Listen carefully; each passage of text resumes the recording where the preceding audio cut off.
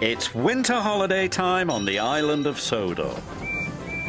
It's very cold, but the engines don't mind. They love this time of the year when the stations look jolly in their decorations. There is plenty of work with passengers and parcels to be delivered, no matter what the weather. Driver says there's more snow on the way, said Edward. We'll soon be wearing our snowplows, said James. You'll enjoy that, won't you, Thomas? teased Henry. You know I won't, said Thomas. I don't like my snowplow.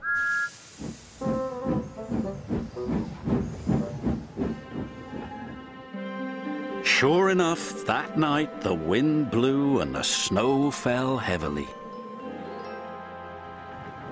The next morning, the Fat Controller arrived. He told the engines they were to have snowplows fitted.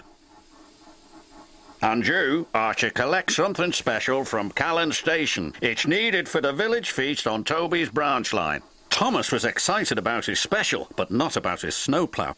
Please, sir, my plough is awkward and uncomfortable. Do I have to wear it? Everyone has to wear a snowplow, said the Fat Controller. The fitters, his driver and fireman all helped with Thomas's snowplow. We'll have to try that again, laughed his driver. Big, horrid, awkward thing, Thomas grumbled. He was much happier when he arrived at Callan Station and saw his special. It was a beautiful Christmas tree. The tree's to have lights and stand in the middle of the village, said Edward. Make sure you get it to Toby safely. I will, said Thomas.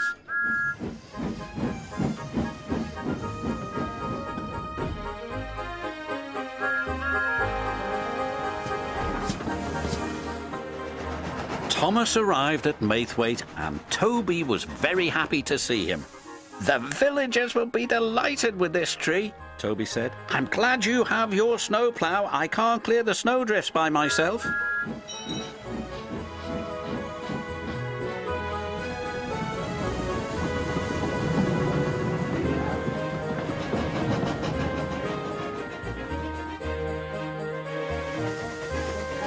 Thomas couldn't see there was a huge rock buried under the snow.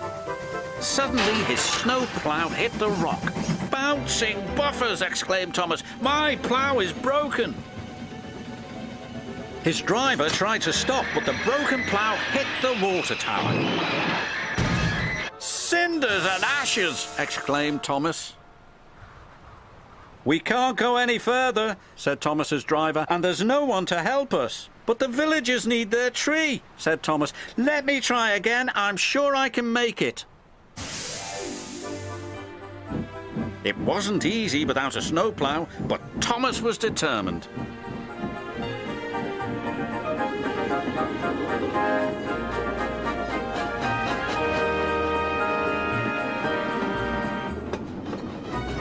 He pushed and he pushed and he pushed. Thomas was trying as hard as he could, but there was just one snowdrift after another.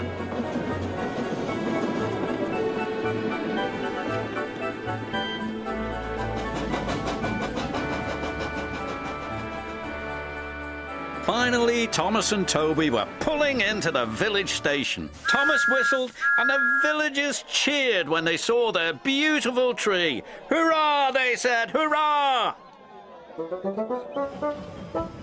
The next day, the Fat Controller sent for Thomas. Thomas was worried. What would the Fat Controller say about his broken snowplow? But the Fat Controller wasn't cross. He was very pleased. The villagers had a wonderful feast, he said. You were very brave to take on that snow without a plough. Thank you, sir, said Thomas happily. As you know, continued the Fat Controller, there are no spare snow ploughs, so you'll just have to do without yours for a while. Oh, thank you, sir, grinned Thomas.